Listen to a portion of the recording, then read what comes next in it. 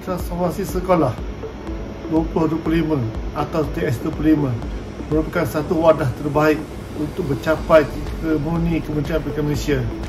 Ini adalah untuk menghasilkan sekolah berkualiti dan murid yang menjadi. Alhamdulillah, Jabatan Pendidikan Negeri Terengganu juga melancarkan slogan anjakan muafakat nekat bagi memperkasakan lagi gerak kerja Kementerian Pendidikan Malaysia selari dengan agenda TS25.